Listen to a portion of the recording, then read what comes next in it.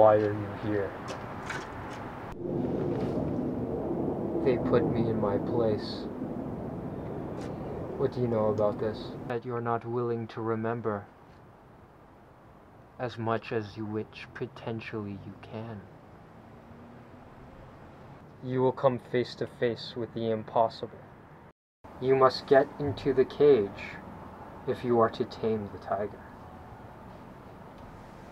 The torches are too high a magnitude. The torches are real. The memories are the phantoms. You are not so different, you and I. This is just temporary. By labeling a condition, I am empowering it. I am no longer tragedy. I just am.